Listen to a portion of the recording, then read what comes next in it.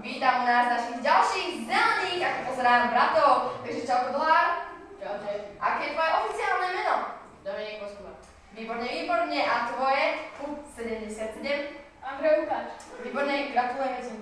Takže, čo dneska ideš pozerať telke? Panelák. Panák, baví ťa to? Hej, hej. Kto sa ti tam najviac páči? Soňa. Angie. Výborne, dobrá voľba však. No dobre, a ty čo dneska večer pozerať? Nič. Vážne, ideš spať? Nie. Po večerničku? Nie. A čo ideš pozerať? Nič. No tak, sem. Dobre, takže povedz nám niečo o sebe dolár, aby sme sa dozvedeli o sebe niečo nové. Žijem pri kávke, hrávam futbal, florbal. Chodím do kávky, školy. A niečo zaujímavé nám povieš tiež? Ja viem, ja viem. No tak si porozmýšľaj, či sa teda niečo spýtame. A ty dolár, či... A čo? Tak ako?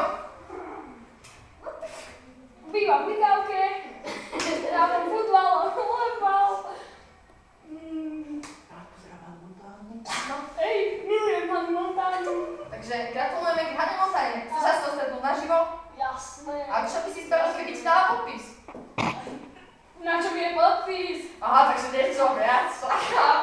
Dobre, dobre chlapci. A ty ešte chceš niečo povedať? Nie. Takže toto boli naši zelení bratia z Likavky, takže do spolkávania priatelia.